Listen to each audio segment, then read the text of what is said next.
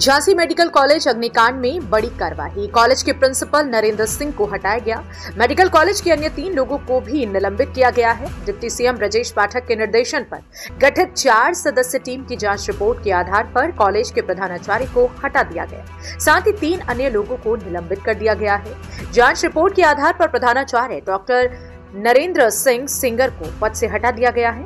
उन्हें चिकित्सा शिक्षा विभाग के महानिदेशालय से संबद्ध कर दिया गया। साथ ही मुख्य चिकित्सा अधीक्षक डॉक्टर सचिन माहौर को आरोप पत्र दे दिया गया है। वहीं मेडिकल कॉलेज के अपर अभियंता विद्युत संजीव कुमार, एनआईसीयू वार्ड की nursing sister incharge Sandhya Rai एवं मेडिकल कॉलेज के प्रमुख अध्यक्ष डॉक्टर सुनीता राठौर को तत्काल निलंबित करते हुए आरोप पत्र दे दिया गया है।